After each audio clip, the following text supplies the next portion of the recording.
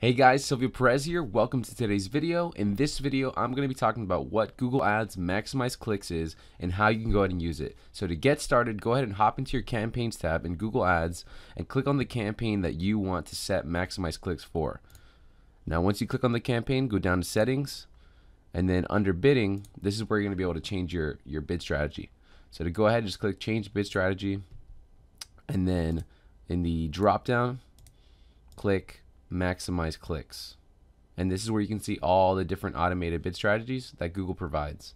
So we're going to be talking about maximize clicks.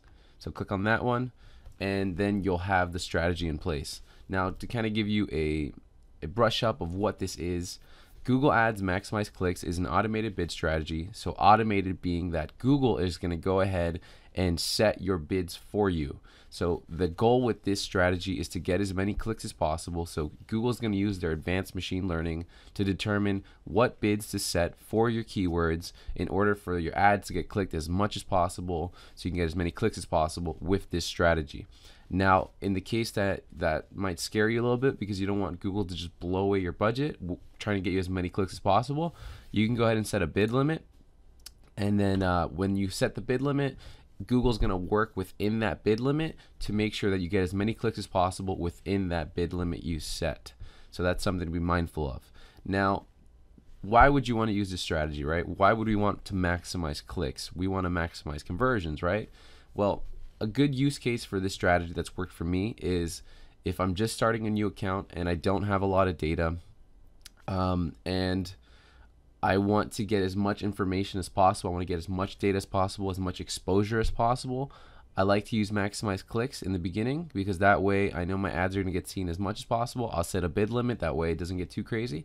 And then by getting all this data in, all this information in as possible, then from there I can go ahead and switch towards more something more conversion focused like either maximize conversions or target CPA but in the beginning if you're trying to get a lot of information I think maximize clicks is a great way to go. And you don't want to necessarily start off with manual and go through the initial learning curve of finding the right um, bid you know bid keyword level bids to have the right balance between like exposure and conversion that's where maximize clicks would be really good so if you have like a client for example or you or you're just starting your account and you want to get your ads out as quick as possible, this is where maximize clicks really comes into play. I wouldn't say it's a strategy that you should leave in your account over the long term, but then again, that's always something you should test. So this is just another tool in your tool belt. So go ahead and check this out if this sounds interesting to you and give it a shot and, and let me know what happens. So that's it for this video. Hope you got some value from it. If you did, please make sure to subscribe and follow along and I'll see you next time. Take care.